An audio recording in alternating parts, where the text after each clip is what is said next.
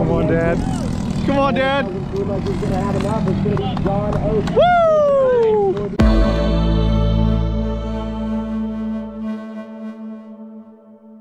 Out here this morning, the second day of a doubleheader, and yet again dealing with some weather, what feels like for at least more than half of the seven races we've had this year.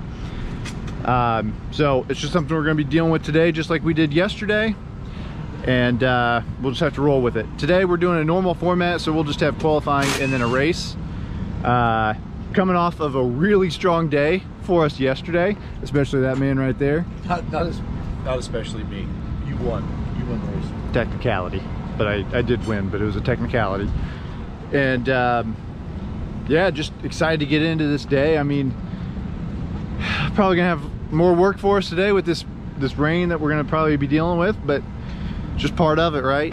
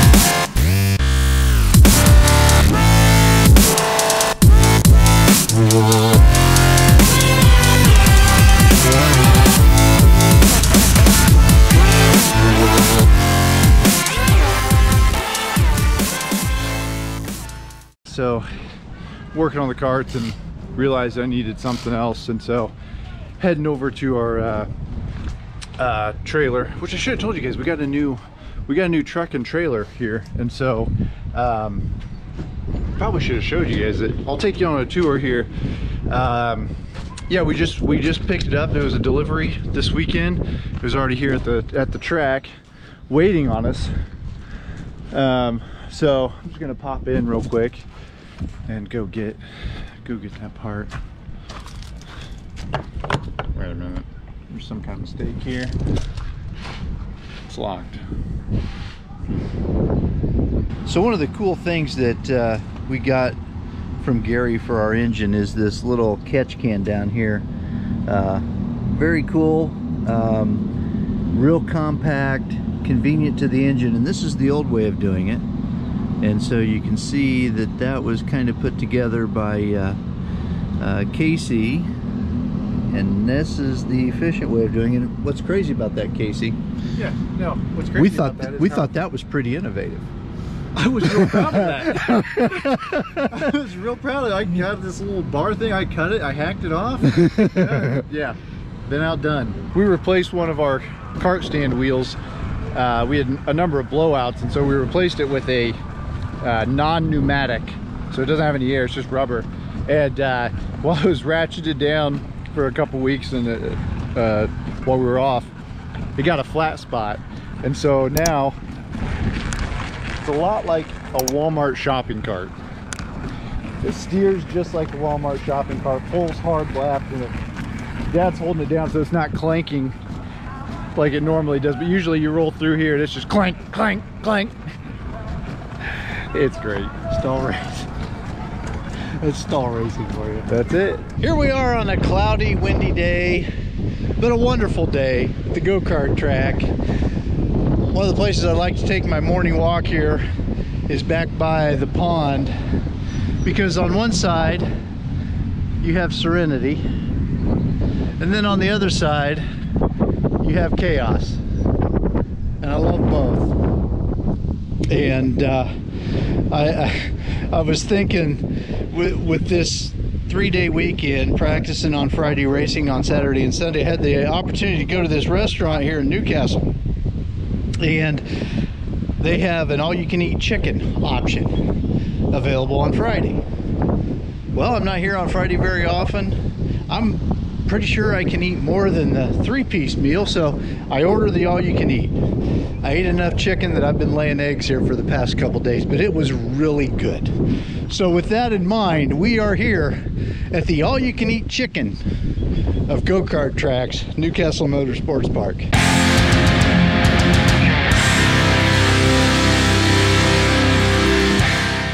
The morning walk with Dad.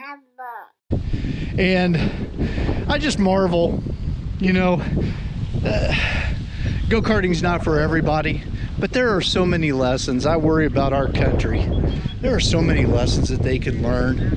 Camaraderie during the event, after the event, racing somebody hard and then turning around and helping them when they've got a problem to get back out there and race against you, maybe even beat you. And you know, sometimes tempers flare and there's, you know, there's a few jerks out here, but it's just amazing to me the community that shows up here. And I've got to believe at other go-kart tracks around the world. And that sense that if we could just capture that and take that spirit, put aside all these differences that we see and, and kind of get the big picture, world would be a lot better off. So thank you to all the go-karters out there. Really appreciate it. Oh my gosh. Man, four tenths. Ted Stahl, fourth, baby. Woo! Old man just qualified fourth. Mary McCone, six, Jeff Funk, seven. Joe Wow. Fourth, Dad. Seriously? I am dead serious. Oh, nice run. Job, man. Good run. Thank you. Oh, man. That's all that guy right there. I just followed him. Thank you. So qualifying's done. Had a really good run. Uh, qualified fourth, um, and there's just a hair between me and eight. So there's a big group there, and I was able to get through them. I owed uh, a friend of ours, Drew Galloway, a big note of thanks. I followed Drew, and uh, he helped me put together a, a much better line than what I'd found by myself in practice. So we'll see where we go from here, but it's a good start. I qualified sixth, and there was a lot more in that red kart right there. Told dad when I came in, it's stupid how good that kart is. Just, uh, I think I've mentioned it, but out here, the way qualifying works, you can't bump draft, so you can't touch the bumper of, of the kart in front of you. And so it's a game of gaps, and I left a pretty big gap, I thought, to the, the kart in front of me, but um, I closed it by the exit of turn two. And so from there for, forward, I'm kind of breathing it so I don't touch his bumper and get penalized. And uh, there's a, it was a bummer in that sense, but it's great that I know that kart has, man, it has the speed. Going up here to Grandpa. We're marching forward, guys. Look at this. I mean, look, look at the old man up here. Row two, baby. Row two. Okay, here we are. This is actually day two of uh, doubleheader uh, weekend, and I'm starting fourth of 12. Uh, had qualified well, very exciting. Uh, I have to credit Drew. I'd followed him in qualifications, and he had helped me uh, find the line. And so, uh, not sure that it's my highest starting spot, but it's it's close. And so, again, we're ready and we're excited. And I was, it was a funny uh, ordeal. I'd finished fifth the day before, was full of confidence, went out for the first practice and could not have stunk. I think I spun in the hairpin. It, it was just terrible how it started. So it humbled me in a hurry. And here we get off to a start, and I'm on the outside. And John gets a little squirrely right there at the exit of two, and that was just enough for me to leverage getting into third place. And that could not have been more important. This was a short, fast track, and um, very hard to pass on. And John would uh, get to me in several sections, uh, but was uh, would bump me and help me stay with these front two. And uh, away we went, and we were off to the races. And you know, yeah, I learned my lesson from the from the race before.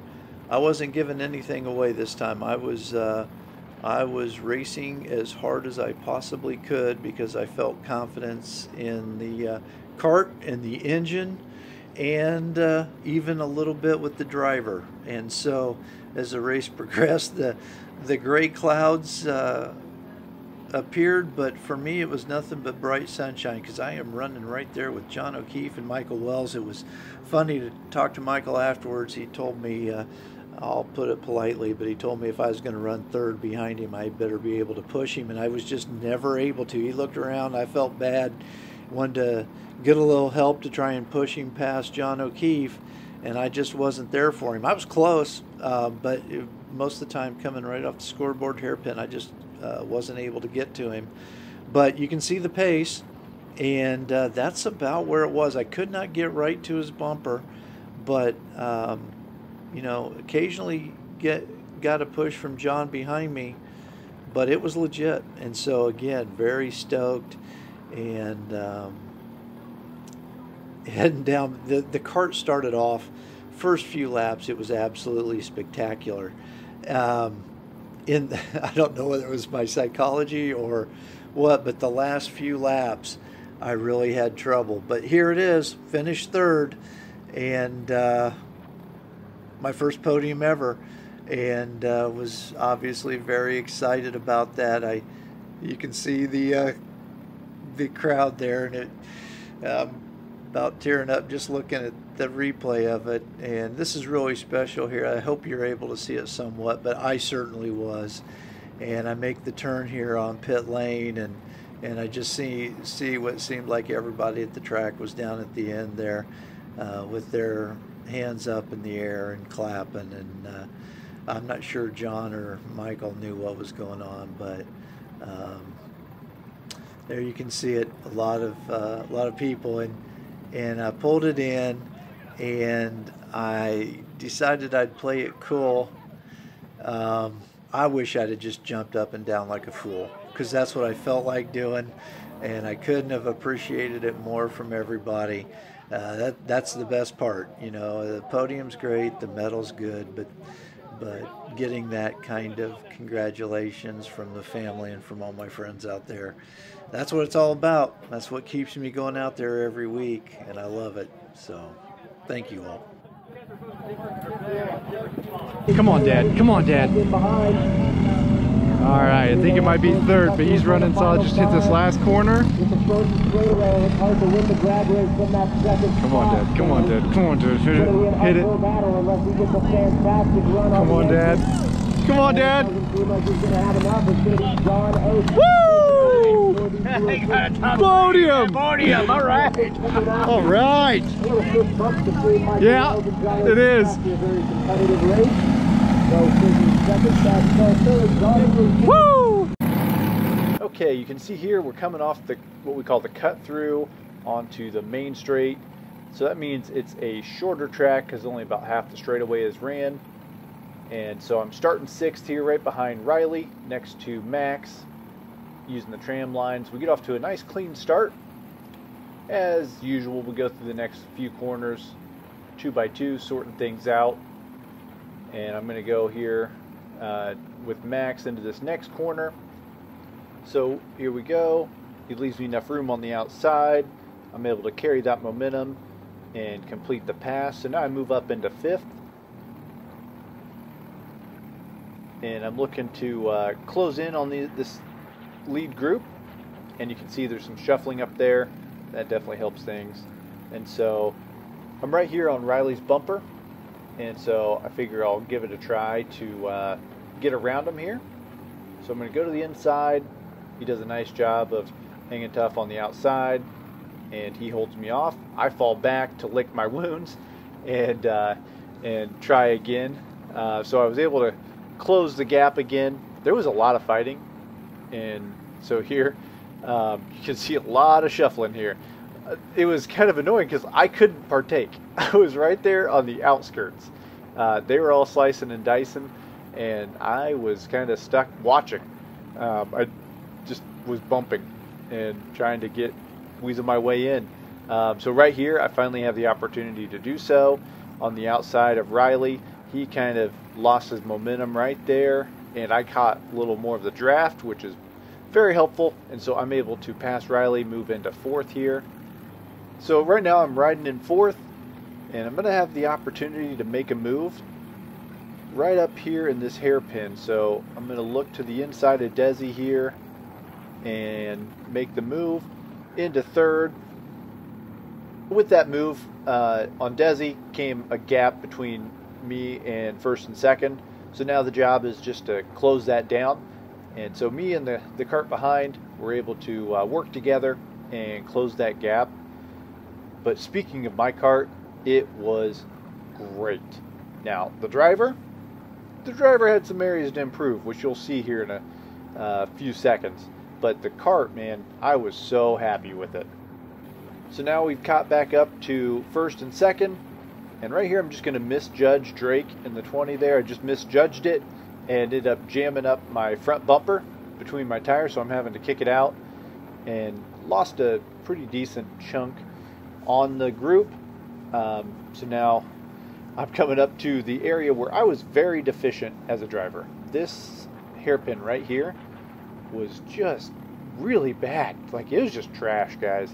And I've driven that enough that it shouldn't be trash, but yet more times than not it was trash. And so right here, Riley got a run on me, and I'm gonna tell him right here with gestures like, dude, hey, come on, let's catch up to these guys. Don't let them get away, and then you can try those moves. But let's catch those guys before we uh, we start doing this.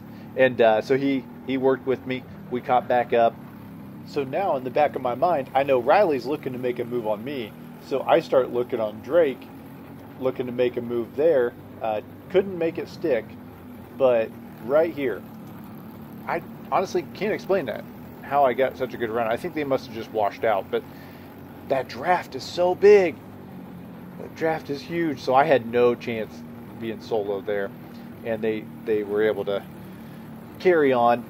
And so here I'm going to take another peek, but just not enough, not enough. And this is the last lap here, and I've got a good bump from behind, and it turns out that it was Josh, and right here he did everything he could to get me to make that move, and I didn't. I hesitated and didn't make it, and right there I pay the price.